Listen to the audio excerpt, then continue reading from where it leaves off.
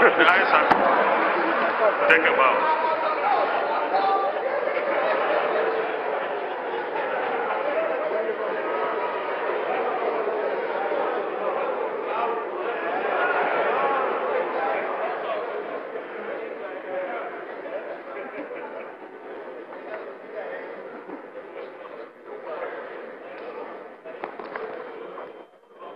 Honorable Chibuike uh, Rotimi Amaechi enjoys the same fate as uh, former lawmakers, even though that was highly uh, debated, if I may use that word, in the Senate.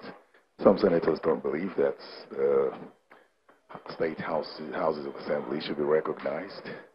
They only believe that federal lawmakers should be recognized. However, he has taken a bow. It almost turned out to be uh, the same as what happened in 2015 when uh, the then minority leader, uh, Godswill Akpabio, staged a walkout with members of the PDP caucus of the Senate.